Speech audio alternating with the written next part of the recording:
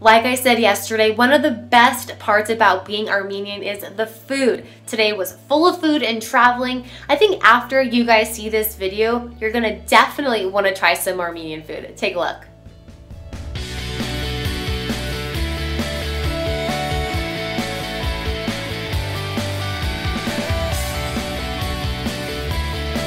To give you an idea of just how hospitable Armenians are, this family only found out about an hour and a half ago that we are coming. They made this lavash handmade in their clay oven just over my shoulder. All of these vegetables are grown in their backyard. The wine is handmade and they even made this sour cream from scratch.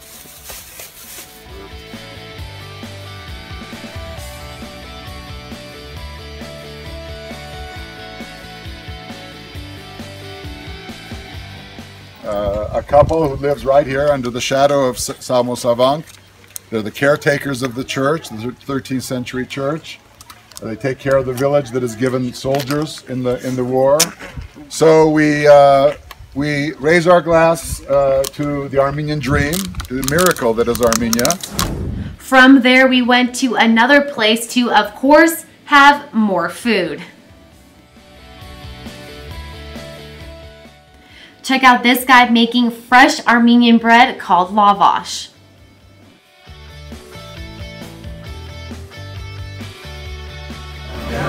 Please tell me what city we're in.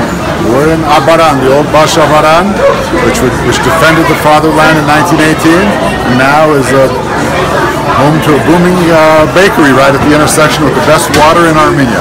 You try the water fountain outside. This is the cleanest water in Armenia, so of course I have to try it.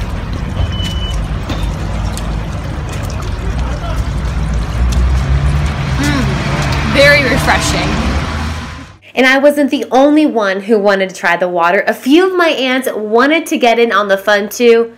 Maybe they were just thirsty. As you can see, food is a big part of our culture and coming up in the next hour, I'm going to show you where my ancestors came from. Reporting from Yerevan, Armenia, Jacqueline Sarkissian, CBS 19.